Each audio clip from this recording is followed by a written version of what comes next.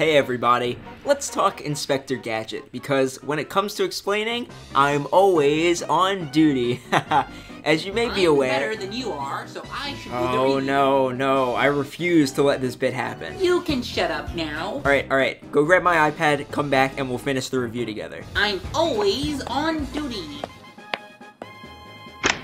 Alright, let's wrap this up quick before he gets back. As you may be aware, Inspector Gadget is a media franchise that's been around since 1983 and has gone through many iterations, but how it ties into SiIvaGunner has very little to do with the actual Inspector Gadget. Rather, it's based on an April Fool's sketch, Minecraft with Gadget, by Mike Matei, co-writer and producer for Angry Video Game Nerd. It's known for being, well, incredibly bad. The jokes, if you can even call them that, manage to consistently fall completely flat. It just ends up being primarily an impression of Inspector Gadget incorrectly pronouncing things and repeating phrases. I link you to it or show you part of the video, but re-uploads keep getting copyright claimed off YouTube, so I'd like to stay in the clear. You can probably find it by searching Minecraft with Gadget on YouTube, but I can't make any guarantee that it will still be up anywhere. Similar to many running jokes on the channel, Minecraft with Gadget as a meme predates SiIvaGunner entirely. I'd rather not get too into the details behind the video as it's out of scope in terms of SiIvaGunner explained, but if you'd like to know more, check out this amazing post by Cantfly from 2012. It's in depth, it's hilarious, and it's definitely worth a read. A link is in the description. So let's start with its relation to SiIvaGunner. For that, we'll have to go back to June 2016 for Minecraft OST version from, well, Minecraft. It's of no relevance to any form of storyline, but it shows the team was at least aware of the video almost a year before it really took off. The Minecraft with Gadget joke really started picking up in May of 2017, being thrown around on Twitter a lot until it hit critical mass. This culminated on May 14th with the release of Audio Log 927 Head Office. What happens in the log is this. The voice, who is currently running the channel, calls for President Haltman to come to his office. Instead, Inspector Gadget shows up and causes a lot of mayhem.